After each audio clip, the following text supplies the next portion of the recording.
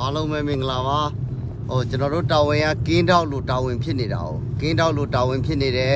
အာလူတွေကိုလိုက်ပြီးတော့ဆောင်းလျှောက်ပြုစုရတယ်ဆိုတော့တစ်ချိန်လုံးသွားလာနေရတာပေါ့ဘာပဲပြောပြောမြို့မှာအနေနဲ့အများတော့ဟိုပေါ့ဘလို့ဘလို့ပြောမလဲမြို့မှာအနေနဲ့အများတော့အခုကသွားလာလှုပ်ရှားမှုတွေရှိနေတယ်ဈေးဆိုင်တွေတော့ဖွင့်ထားသေးတယ်အဲစားရေးတောက်ရေးတွေကအဆင်ပြေပါတယ်ကျွန်တော်ကအခုကျွန်တော်စိုးရိမ်တာကကျွန်တော်တို့နိုင်ငံကိုကျွန်တော်မစိုးရိမ်ဘူးဖင်လန်နိုင်ငံကိုကျွန်တော်တို့မစိုးရိမ်ဘူးကျွန်တော်တို့မှ အာအကုန်လုံးလို့လို့အပြည့်အစုံရှိသလိုဖြစ်နေတယ်ကျွန်တော်အခုစိုးရိမ်တာကဗမာပြည်ကိုအစိုးရိမ်ဆုံးပဲ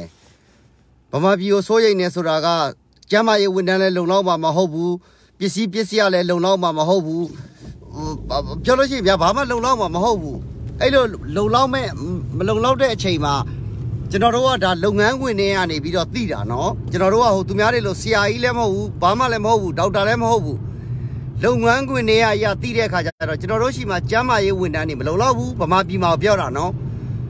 ဗမာပြည်မှာကျမ်းမာရေးဝန်ထမ်းတွေမလုံလောက်ဘူးဆိုဒီကျမ်းမာရေးဝန်ထမ်းတွေကိုကျွန်တော်တို့ကပြုစုစောင့်ရှောက်ဖို့တိတ်အရေးကြီးတယ်ဒါကြောင့်မလို့ကျွန်တော်တို့ဥပမာတစ်ခုကိုပြောရင်ဒါမျိုးတွေပေါ့ပရိုတင်းလို့ဟာမျိုးတွေဒါမှကျွန်တော်ပြပါတယ်ဒါကျွန်တော်တို့ရှိမှဆိုပရိုတင်းလို့ဟာမျိုးပေါ့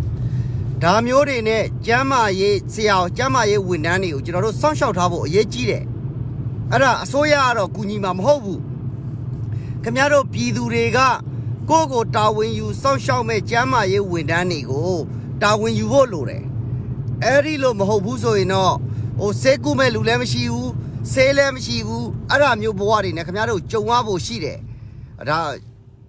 ဒါကျွန်တော်တို့ကအမှန်တိုင်းပြောတာပါဟုတ်အီရတ်မှာစစ်သွားတိုက်တိုက်တဲ့အစစ်သားလေးတွေကတော့ဗမာသတင်းထဲမှာပါတယ်ဒီနိုင်ငံရချမ်းမှနေပြီးတော့ ဟိုဗမာနိုင်ငံသားအဟောင်းတွေပဲဖြစ်ဖြစ်အစ်စ်တွေပဲဖြစ်ဖြစ်ပေါ့ဗျာဘလို့ပဲဖြစ်ဖြစ်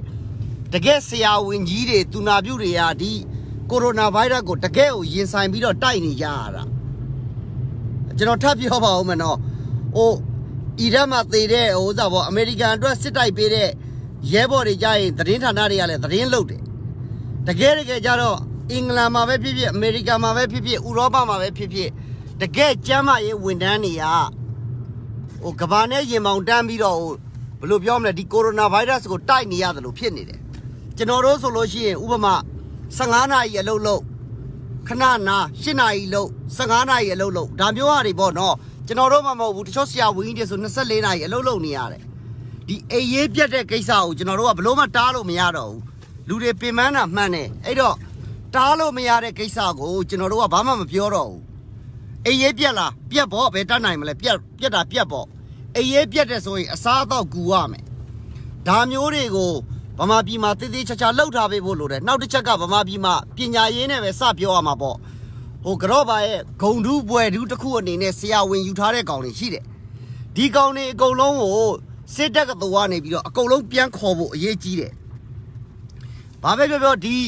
စစ်တပ်ကတော်မှာဗျာ သွားပဲနားထောင်တာပဲဖြစ်ဖြစ်အလိုလိုနေရင်းနဲ့အောင်တာပဲဖြစ်ဖြစ်ပေါ့ဒီလူတွေကိုပြန်ခေါ်ပြီးတော့ဒီကျမ်းမာရေးသူနာပြုတွေကိုတည်တည်ချာချာလုပ်ပေးဖို့လိုတယ်ကျွန်တော်အားမထပ်ပြီးတော့ခင်ဗျားတို့ကိုပြောပါမယ်အဓိကတော့အစားအသောက်ဂယူးဆိုင်ဖို့လိုပါတယ်ကျေးဇူးအများကြီးတင်ပါတယ်